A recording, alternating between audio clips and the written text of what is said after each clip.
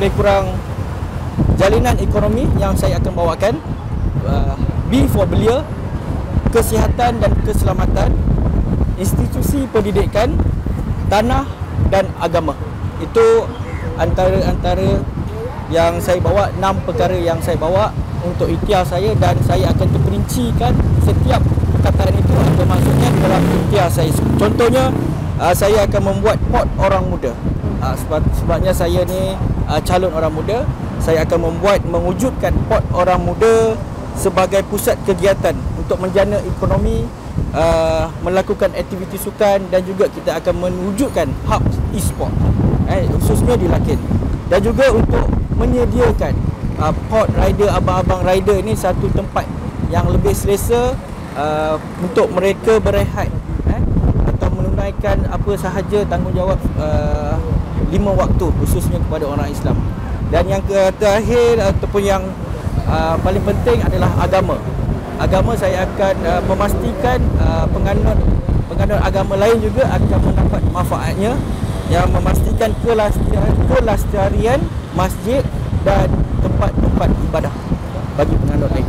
Uh, harapan saya pastinya memohon uh, dan merayu kepada seluruh warga di Don Lakin uh, untuk uh, memberi sokongan semula kepada Barisan Nasional kita tahu uh, di Don Lakin uh, maupun di uh, Don Setulang Johor Bahru kita kalah dan harapan saya uh, kembalikan kepercayaan kepada Barisan Nasional untuk menstabilkan politik di negeri Johor maupun negara demi masa depan kita. Bagi saya saya amat uh, terkejut dan kagum dengan respon daripada masyarakat di bawah.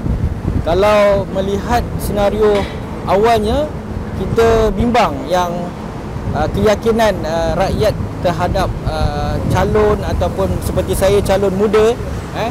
Tetapi uh, di luar jangkaan saya apabila ramai contohnya selepas saja penamaan calon pada hari pertama saya tidak membuang masa saya terus turun ke bawah untuk uh, berjumpa seberapa ramai uh, masyarakat di Laki ini tetapi rata-rata uh, amat uh, suka dengan uh, cara pentadbiran yang amat berhormat Menteri Besar hari ini menguruskan kerajaan negeri Johor selepas dua uh, Menteri Besar yang gagal sebelum ini uh, untuk mengurus kerajaan di negeri Johor. So mereka mengharapkan satu uh, mandat baru kepada kerajaan Barisan Nasional.